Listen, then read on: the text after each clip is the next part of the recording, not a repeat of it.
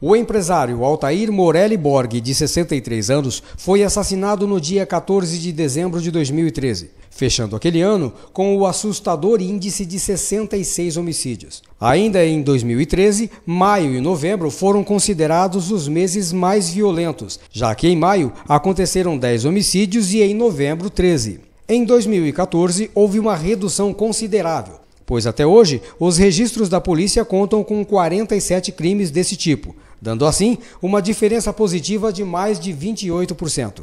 O trabalho preventivo da Polícia Militar tem auxiliado na redução destes números.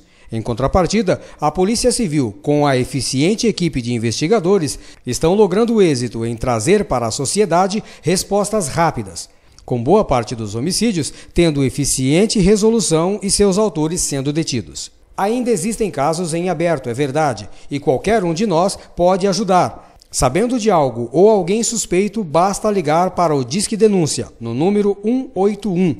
Sem precisar se identificar, todos os homens e mulheres de bem têm a condição real de dar suporte aos investigadores e policiais em geral, pois assim as investigações podem ser direcionadas e mais casos seguramente serão resolvidos na cidade.